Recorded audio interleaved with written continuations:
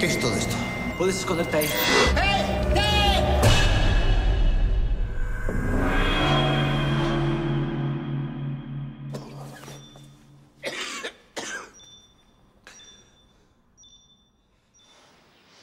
Has viajado en el tiempo.